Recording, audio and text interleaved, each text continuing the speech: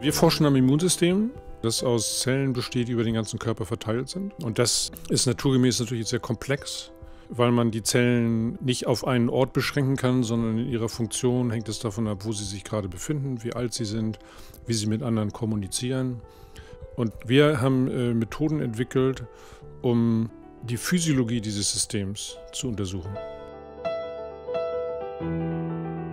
Dazu haben wir einen genetischen Schalter in Stammzellen eingesetzt und der war induzierbar und äh, wenn man das anschaltet, fangen die Zellen an zu leuchten und die Nachkommen dieser Zellen leuchten dann auch. Und so konnte man praktisch zum ersten Mal messen, wie sich diese markierten Zellen im Immunsystem ausbreiten.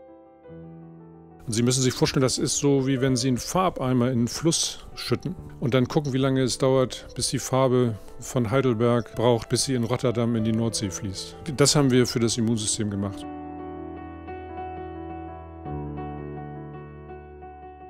Um jetzt das Auflösungsvermögen zu erhöhen, haben wir ein Barcoding-System entwickelt und damit kann man in Zellen praktisch einen Barcode generieren und auf diese Weise kann man eine hochauflösende Analyse des ganzen Systems machen.